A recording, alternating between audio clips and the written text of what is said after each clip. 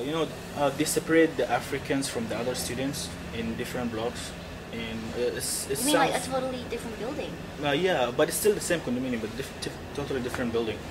And what did it make you feel? You know, do you feel it's not right or they shouldn't be doing it? Well- what's your take on it? Well, of course, it shouldn't be like this. Because you Um, guys are all students. Yeah, we are students and we we all humans, so nothing different between us. So how did you shoot this documentary? Did you just use a handy cam? Yeah, I was using a handycam without light, uh, normal mic. So it's all it. about the content. Yeah, it's all about the content. Did you edit it yourself? Yeah, and it takes a long time. It's very hard. Tell me about it. I know I'm in production. Yeah. Yeah.